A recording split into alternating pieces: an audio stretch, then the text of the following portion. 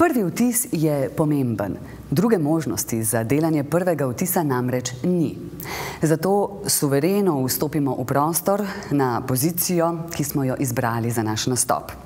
Vanjo se dobesedno zabetoniramo vsaj za prvi dve minuti, dokler roke ne ujamejo dinamike našega govora.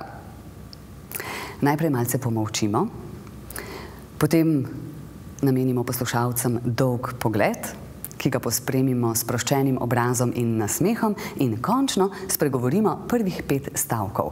Le ti naj bodo jasni, kratki in konkretni. Druge možnosti za delanje prvega vtisa ni, kot sem rekla.